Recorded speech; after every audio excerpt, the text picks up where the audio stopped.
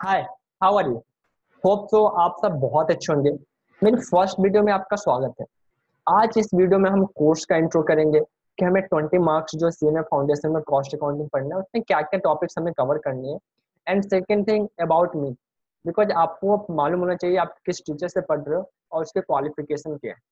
तो हम दोनों चीज़ को इस वीडियो में डिस्कस करेंगे वन बाई वन तो होप फॉर दी बेस्ट सबसे पहले मैं खुद के बारे में बताऊँ। तो मैं सी में क्वालिफाइड हूँ एंड मैं सी एम इंस्टीट्यूट का मेंबर हूँ।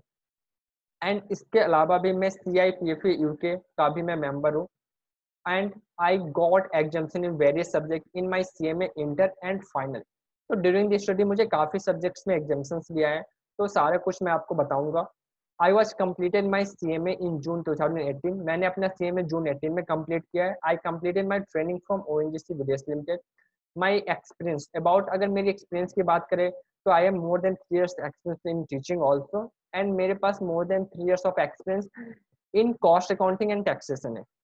तो ये सारी मेरी एक्सपीरियंस आपको बहुत हेल्प करेगी आपको चीज़ों को समझने में। और इस कोर्स की बात अगर हम करें तो इस कोर्स में हमें क्या क्या चीज़ें पढ़नी है?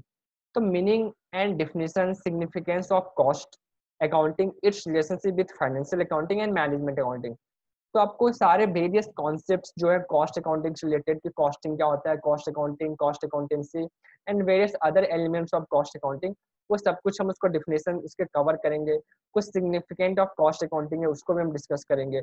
Cost accounting of financial accounting के साथ क्या रिलेशनशिप है, और कॉस्ट अकाउंटिंग या मैनेजमेंट अकाउंटिंग के साथ क्या रिलेशनशिप है, इस कॉन्सेप्ट को भी हम डिस्कस करेंगे। Classification of the cost cost का वेरियस बेसिस पे क्लासिफिकेशन किया गया है कॉस्ट अकाउंटिंग में। तो उस कॉन्सेप्ट को भी हम इन डिटेल्स डिस्कस करेंगे। और फॉर्मेट ऑफ़ कॉस्ट को हम डिस्कस करेंगे कि किसी प्रोडक्ट के अगर हमें कॉस्ट को आइडेंटिफाई करना है तो उसमें कॉस्ट के फॉर्मेट का बहुत ज़्यादा इंपॉर्टेंट है। विदाउट कॉस्ट हम किसी प्रोडक्ट के कॉस्ट को आइडेंटिफाई नहीं कर सकते। तो सारे कॉन्सेप्ट हम वन बाई वन आपके साथ डिस्कस करेंगे। इसके अलावा भी सारे क्वेश्चन जो आपके स्टडी मटेरियल में उसे भी मैं कवर करूँगा। एंड उसके बाद एमसीक्यू देखेंगे। एंड पास्ट फोर इयर्स के हम क्वेश्चन एंड उसका सॉल्यूशन हम क्लास में करेंगे।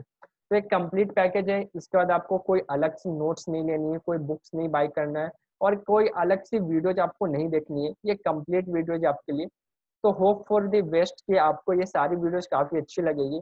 एंड सबसे मोस्ट इंपॉर्टेंट बताऊँ इस वीडियो सीरीज़ की तो आपके साथ बहुत सारी चीज़ें ऐसी आएगी जो प्रैक्टिकल एग्ज़ाम्पल से मैं दूँगा तो आपको चीज़ें बहुत इंटरेस्टिंग लगेगी। बिकॉज़ कॉस्ट अकाउंटिंग एक प्रैक्टिकल सब्जेक्ट है, इसमें आप याद नहीं कर सकते, आप रट्टा नहीं मार सकते हो। तो होप सो कि हमारी वीडियो जर्नी काफ़ी अच्छी होगी। Thanks. Bye. Take care. Best of luck.